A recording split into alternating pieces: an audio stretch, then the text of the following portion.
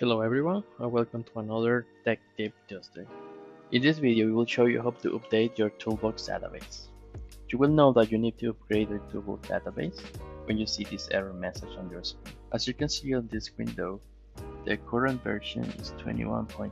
That means it's a 2018 SolidWorks version, but we're using 2019 SP3. That's why we need to update. So we have to go to our C drive then go to Program Files, SolidWorks Corp, SolidWorks, and then find a folder called Toolbox. Then another folder called Data Utilities, and then right click on that file, the browser database.exe, and run it as an admin. That part is really important. In this screen, we can check that the database to update is our toolbox folder. In this case, is correct see SolidWorks data. And then we just have to click update. Last step will be to check in SolidWorks if the toolbox is working.